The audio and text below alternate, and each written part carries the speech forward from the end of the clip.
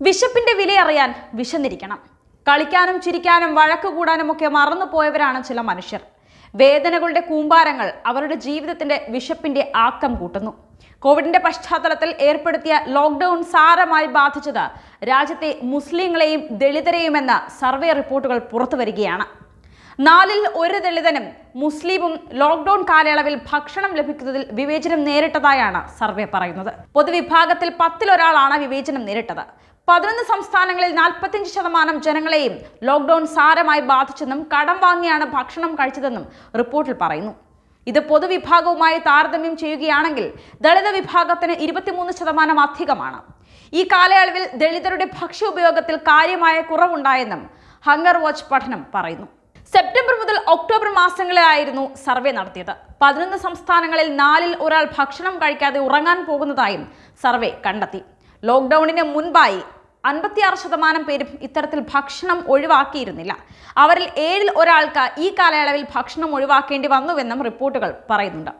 ഉത്തർപ്രദേശ് മധ്യപ്രദേശ് ഗുജറാത്ത് രാജസ്ഥാൻ മഹാരാഷ്ട്ര ഛത്തീസ്ഗഡ് ഝാർഖണ്ഡ് ഡൽഹി തെലങ്കാന തമിഴ്നാട് പശ്ചിമ ബംഗാൾ എന്നിവിടങ്ങളിലെ നാലായിരം ആളുകളിൽ നിന്ന് ലഭിച്ച വിവരത്തിന്റെ അടിസ്ഥാനത്തിലാണ് സർവേ നടത്തിയിരിക്കുന്നത്.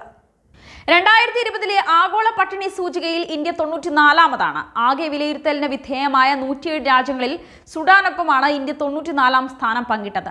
കഴിഞ്ഞ വർഷം നൂറ്റി രാജ്യങ്ങളുടെ പട്ടികയിൽ നൂറ്റി സ്ഥാനത്തായിരുന്നു ഇന്ത്യ. വികസനത്തിന്റെ വേഗം വർദ്ധിക്കുമ്പോഴും പട്ടിണിയുടെ ദൈന്യത രാജ്യത്ത് കുറയുന്നില്ല എന്നത് വ്യക്തമാക്കുന്നതാണ് ഈ വർഷത്തെയും ആഗോള പട്ടിണി സൂചിക. രണ്ടായിരത്തി ഇരുപതിലെ ഇന്ത്യയുടെ സ്കോർ ഇരുപത്തിയേഴ് ദശാംശം രണ്ടാണ്. പട്ടിണിയുടെ തോത് ഇന്ത്യയിലെ ഏറെ ഗുരുതരമാണ് എന്ന് വ്യക്തമാക്കുന്നതാണ് ഈ നിലവാരം. നേപ്പാൾ എഴുപത്തിമൂന്ന് പാകിസ്ഥാൻ എൺപത്തെട്ട് ബംഗ്ലാദേശ് എൺപത്തഞ്ച് ഇന്തോനേഷ്യ എഴുപത് എന്നീ രാജ്യങ്ങൾക്കും പിന്നിലായാണ് പട്ടിക അനുസരിച്ച് ഇന്ത്യയുടെ സ്ഥാനം. North Korea Rwanda Nigeria Afghanistan Lesotho Sierra Leone Liberia Mozambique Haiti Madagascar Timor Leste Chad എന്നീ പതിമൂന്ന് രാജ്യങ്ങളാണ് ഇന്ത്യയ്ക്ക് പിന്നിൽ. റിപ്പോർട്ട് പ്രകാരം ജനസംഖ്യയുടെ പതിനാല് ശതമാനം ഇന്ത്യയിലെ പോഷകാഹാര കുറവ് നേരിടുന്നു. കുട്ടികൾക്കിടയിലെ വളർച്ചാ മുരടിപ്പ് രാജ്യത്ത് മുപ്പത്തിയേഴ് ദശാംശം നാല് ശതമാനമാണ് എന്നതാണ് സ്ഥിതി വിവരം ചൂണ്ടിക്കാട്ടുന്ന ഗൗരവമായ വെല്ലുവിളി. പോഷകാഹാരക്കുറവ് വളർച്ചാ മുരടിപ്പ് ഭാരക്കുറവ് അഞ്ചു വയസ്സിന് താഴെയുള്ള കുട്ടികളുടെ മരണനിരക്ക് ശിശുമരണ നിരക്ക് മാതൃ ആരോഗ്യം എന്നിങ്ങനെയുള്ള വസ്തുതകളുടെ അടിസ്ഥാനത്തിലാണ് റാങ്കിംഗ് രേഖപ്പെടുത്തുന്നത്. ഏറ്റവും മികച്ച സ്കോർ പൂജ്യവും ഏറ്റവും മോശം സ്കോർ നൂറുമാണ്. ഇന്ത്യയ്ക്ക് ലഭിച്ചത് മുപ്പത് ദശാംശം മൂന്നാണ്. റാങ്കിംഗ് പട്ടികയിൽ തൊണ്ണൂറ്റിനാലാം സ്ഥാനത്താണ് ഇത് വരുന്നത്. ഇത് പ്രകാരം കൊടും പട്ടിണി അനുഭവിക്കുന്ന രാജ്യമാണ് ഇന്ത്യ എന്നാണ് വ്യക്തമാക്കുന്നത്. ഈ റിപ്പോർട്ട് പ്രകാരം ഇന്ത്യയിലെ പതിനാല് ശതമാനം പേർക്കും പോഷകാഹാരം ലഭിക്കുന്നില്ല.